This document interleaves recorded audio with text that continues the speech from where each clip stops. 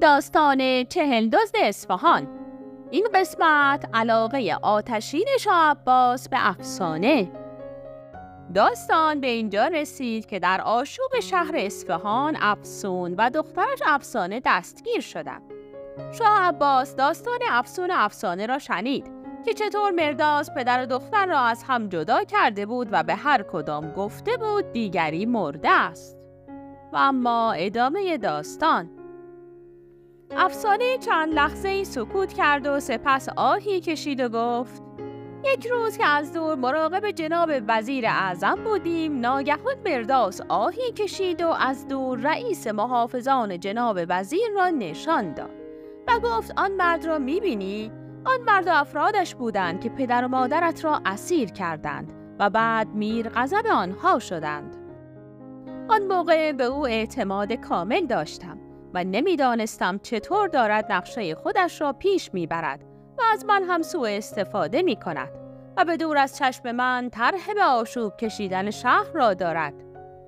او دوباره همان داستانهای پر از دروغ در مورد اسارت پدر و مادرم را تعریف کرد و این بار کاری کرد که من از آن مرد و افرادش متنفر بشوم. کار را تا جایی پیش برد که از روی غضب سوگند خوردم آنها را خواهم کشت. مرداز وقتی سوگند خوردن من را شنید نقشه ای کشید. و فردای آن روز با لباس گزبه های داروغه بیرون آمدیم تا به خیال من انتقام پدر و مادرم را بگیریم. ولی فکر می کنم مرداس به دنبال فرصتی بود تا پس از آنکه من محافظان وزیر اعظم را کشتم او بتواند وزیر را بکشد یا به گروگان بگیرد و شرایط را برای به آشوب کشیدن بیشتر شهر آماده کند. افسانه نفسی کشید و دوباره به چشمان زانیار خیره شد و در حالی که با سر به او اشاره می کرد لبخندی به او زد و گفت ولی باز این جوان خوششانس آنجا بود. هرچند من چند نفری را بیگناه و به خیال اینکه شکنجهگران پدر و مادرم هستند کشتم اما در عوض این جوان هم مرداس را زخمی و ما را تعقیب کرد. مرداس دستور داد که او را هم بکشم. اما قربان باور کنید که من حاضر نبودم ایرانی بیگناهی را بکشم اگر آن فرمانده به افرادش را هم کشتم به خاطر این بود که مرداس نامرد من را گول زده بود همانطور که سالها به من دروغ گفته بود و من فکر می کردم حضرت عالی قاتل پدرم هستید و برای همین طبق نقشه برداس لباس پیک های شاهی را پوشیدیم و برای کشتن شما اقدام کردم. اما در همان حال هم حاضر نشدم کسی از محافظان شما را بکشم و تنها قصدم گرفتن انتقام از شما بود. اگر این اتفاق افتاده بود الان نه شما زنده بودید و نه من. فکر می کنم این خواست خدا بود که در آن زمان باز هم این جوان خوششانس آنجا بود و توانست من را با سنگ بزند و من در عوض کشتن شما با پدرم زندانی شدم و فهمیدم مرداس طی این سالها چطور من را برای نقشه خبیسانه خود پرورش داده است. می‌دانم که مجازات من مرگ است اما به خدا سوگند پدرم در این میان هیچ تقصیری ندارد و فقط وقتی در فریاد من نام خود و پدرش را شنید و من را زنده دید چنان ذوق زده شد که برای دیدن من هجوم آورد تمنا می کنم او را رها کنید چون می‌دانم حتی اگر من کشته بشوم کسی هست که انتقام من را از آن مرداس نامرد بگیرد. دوست عزیز کلوپ داستانهای فارسی ممنونم که ویدیو رو لایک می‌کنی. افسانه سخنش که به پایان رسید تعظیمی کرد و دوباره با سری پایین افتاده در مقابل شاه عباس ایستاد.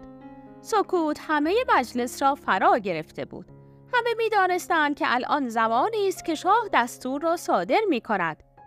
دیوان بگی با ترس و نگرانی دست به دست می کرد که آیا جلو برود و سخنی در حمایت برادر و برادرزاده اش بگوید یا نه.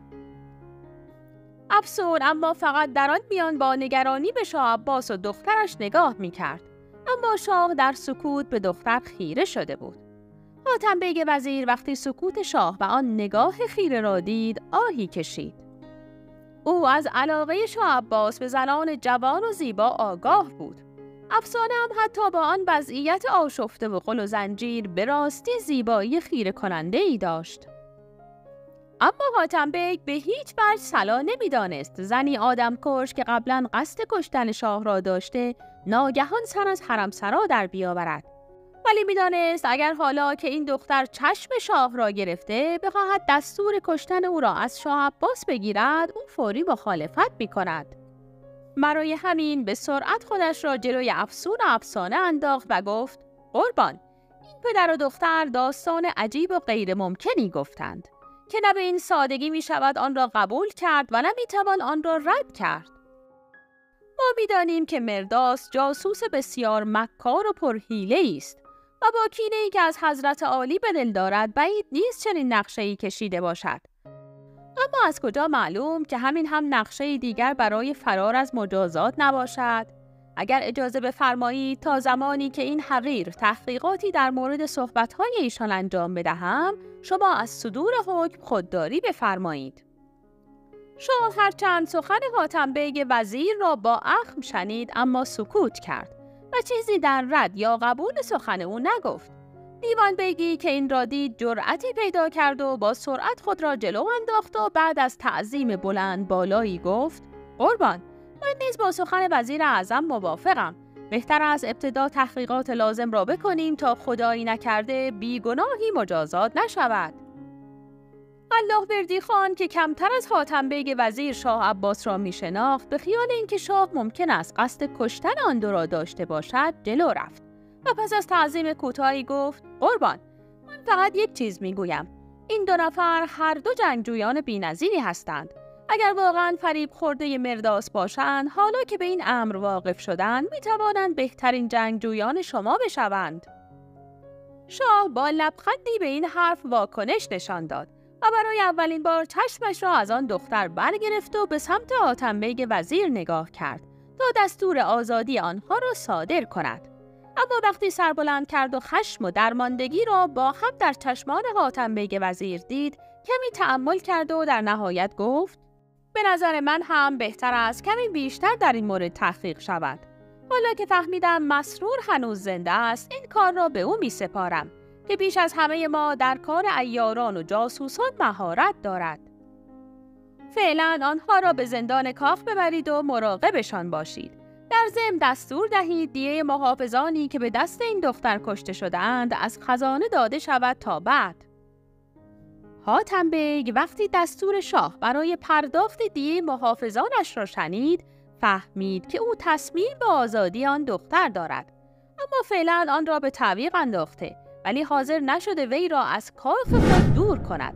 تا هر زمان که بتواند به سرعت او را روانه حرم سرای خود کند. با این وجود از سر ناچاری قبول کرد و به نگهبانان افسون افسانه دستور داد که آنها را ببرند.